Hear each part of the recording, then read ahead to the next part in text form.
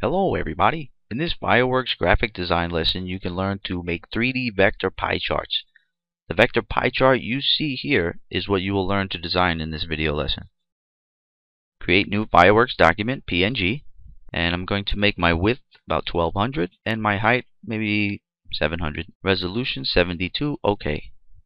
I'm going to make my canvas white and the first thing I'll do is go to my shapes and grab an ellipse and I'm going to hold shift as I draw my ellipse. And if you want to have your tooltips go to view and make sure tooltips is selected.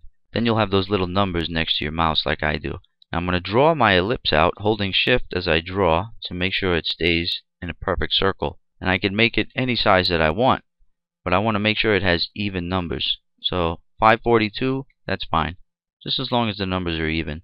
Now I'm going to take it drag it to the middle and I'll see it when it's in the middle I'll see a line show up letting me know that I'm in the exact middle of my canvas.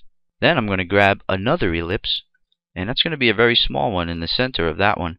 You can make it any size turn it black and then just take the width make it about 8 and the height about 8 as well because you just want it to be a small dot. Now you grab that dot you can move it around within that bigger ellipse and you put it in the center. And You'll see when it's in the center, you'll have a little crosshair show up. Then let go right there. Then you'll know you're in the dead center of that bigger ellipse. Now we can start drawing in our colored pie shapes or wedges. So we'll grab the pen tool and we'll start right here somewhere down on this angle. You can start any angle that you want really. Click down, let go, then go to the very center of the black dot, click down, let go, and then make any angle that you want for that pie shape. I'll make mine about like that. Click down, let go. For the last line, let's connect it all. And when you click down this time, hold it and drag the line. And you can make it bulge out a little so it's not up in the shape like that. You want it outside the yellow shape.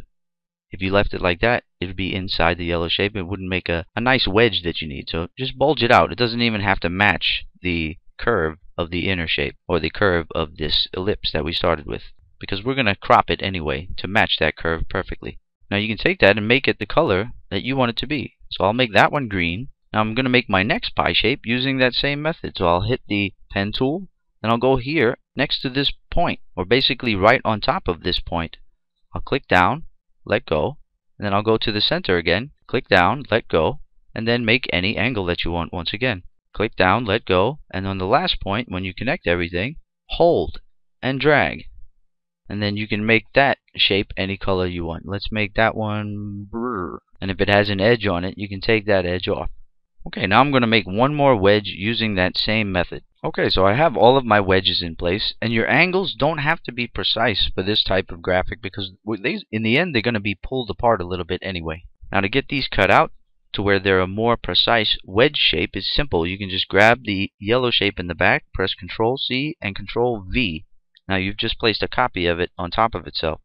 Take the new copy of the yellow shape, hold down Control Shift and hit your up arrow key. Holding Control Shift and hitting your up arrow key is bring to front, or you can use these buttons up here. It does one of these does bring to front. And once you have that in the front, you can select it and the shape that you want to crop by holding Shift to select them together. You can hold Shift to select things together. So I have those two items selected. I'm going to go up to Modify, Combine Paths, and Crop.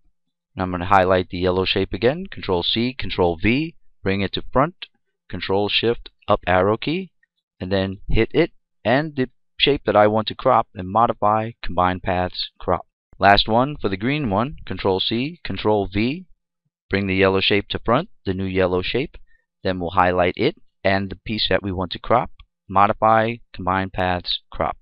Now we'll punch this last shape because it's still a solid ellipse, a full ellipse. But you don't want to really move it. I was just showing you what I have there. But we want to punch that one out. So what we'll do is grab the pen tool, and we'll start right here. Then we'll go up to the center, click down, let go, follow this red line up, click down, let go, and then just make a shape that goes all the way around, and you'll have something like that. And it, it, it doesn't even have to be very precise. So what you can do is grab this, and this shape together, go to Modify, Combine Paths, and Punch.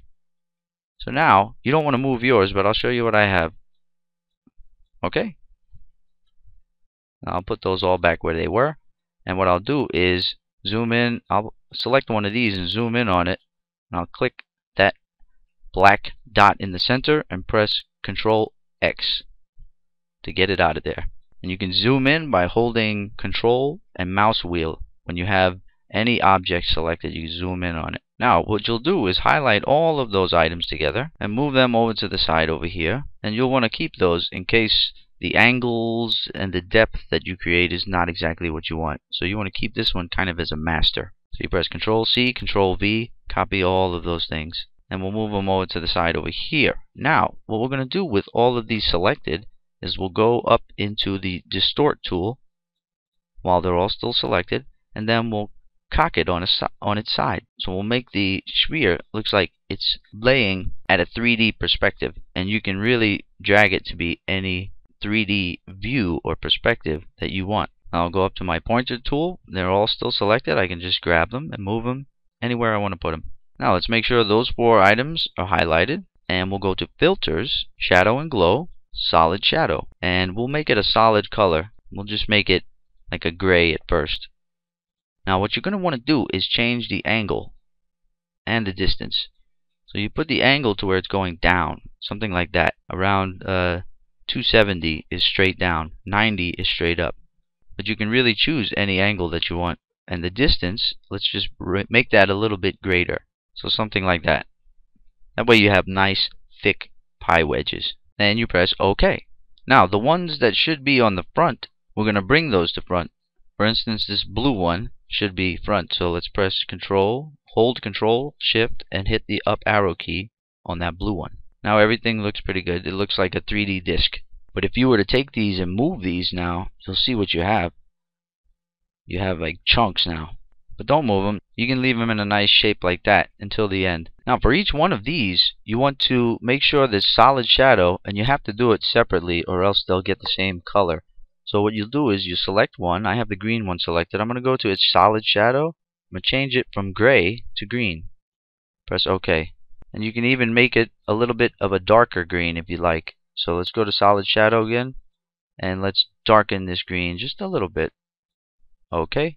Then press OK and there. Now I'll do the same thing to the blue one. Solid shadow. Make it match this blue. Then highlight it again. Go to the color wheel and make it just a tad bit darker. OK. Okay. Now do the same thing to the red. And now finally the yellow. Now let's select the green one once again and let's go to its fill. Change it from solid to gradient ellipse. And let's put the ellipse where the brightest point of the white on the ellipse is right in the middle. And what you can do is you can make that a bright green if you like instead of a white. Instead of solid white, it can be like a bright green like that. And then you adjust your ellipse. So you hold one point and hold shift so your ellipse is perfect. If you hold shift, your ellipse will grow in proportion. Do it to where it about hits the edge. Right about there. The blue one, I'll do the same thing. Go to solid fill, change it to gradient ellipse, and put that right in the center there. And then change from white to a very, very bright blue. Looks like it even needs to be brighter than that. So let's brighten that up a little bit. OK. And then you can manipulate the ellipse by holding shift and dragging one end until it about reaches the end there. I'm going to do the same thing to the red and the yellow. And for the yellow one, I'm just going to use white in the center. So I'll go to ellipse and I'll leave it white. And then I'll just make the ellipse grow until it's about more towards the edge like the other ones. Maybe that's too much for that one right about something like that. Now let's take these and move them slightly apart. And you can use your arrow keys if you don't want to move them too much. You can highlight one and just move it up a little bit, then move it over using your arrow keys. Do the same thing to the red one, just move it out, down maybe. Same to the blue. And then you can you can really just drag them if you want. Let's move the blue over this way a little bit. I'm going to highlight all of these again independently. So I'll start with the green one, and I'm going to give it a new filter, Shadow and Glow, Inner Shadow. I'm going to make sure the angle on the inner shadow is coming from the bottom of the pie shape. So you can see my black is, inner shadow is on the bottom of the piece. I'm going to make it come up a little higher into that piece, and then make it spread or fade into it a little bit better. Something like that. And you can take the opacity down a little bit if you don't want it so dark. So I'm going to do that for the others as well. Making sure that the shadow is always coming from the bottom up. And that gives you something like that. Now you can really take a lot more time to put a lot of effects on these things and you can even put lines here and you can put white shapes if you wanted these to have a more jelly-like appearance. But I want mine to have a more plastic cut look.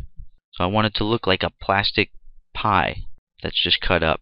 Plastic or metal or whatever. I don't want it to look like jelly. I can go and grab this green one and zoom in by holding control and mouse wheeling in and I could make a line, just a very basic line by dragging it from one end to the other where I want it to live and then I can change it to be any color I want like that dark green right there.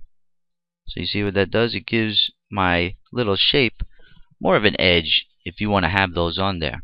You can change the points. Just grab it, hit the sub selection tool, and move these points if you don't get them precisely where you want them. Let's see what that looks like. Okay, so that's the yellow one. All I need is one line here for the red one. Let's see what we have now. So you can see they look a little more cut and clean now. This one is actually a little bit too dark. Let's lighten that up a little. You don't want them too dark. And if you make them too light, you won't be able to see them. Now you can grab all of these shapes together by making a box around them like this. Make sure you don't hit this yellow one over here. Just grab all these shapes. And then you can press Control G to make a group out of them. Now you can move the whole group around. Let's get this thing out of the way a little bit over there. Now you can just move this group around anywhere you want. Now when we shrink this down, it won't have any jagged edges or anything. It'll look really sharp since we made it pretty big. And we're not going to have it that big on a web page. When we shrink it down to be the size it needs to be on a web page, it's going to look smooth. So what I'll do is I'll just draw a rectangle. Maybe something like that. And I want to have a fill of gradient radial. And I'll just make it gray where it is red there. Something like that. And then I'm going to highlight my nice little 3D pie chart Press Control C, Control V, bring it over here, bring to front, Control Shift up arrow key, and then hit Modify Flatten Selection. Now it's a flattened bitmap. So now when I shrink it, it'll look really good. So I'll go to Scale Tool, shrink it down to the size it needs to display on the web, and right about like that. Now I can highlight it and then go to Filters, Shadow and Glow, and drop shadow on the whole thing and I'm gonna make it drop a little bit further and I don't want my shadow so dark so I'll bring the opacity about like that and if you want you can even take the little shape uh, speech bubble. Where's that? Talking. Put it up there. Shrink it to the size it needs to be. Whatever size you want it to be. Move it there and you can grab this point and move it around so you have something like that. And then you can put numbers in there or words or whatever you want.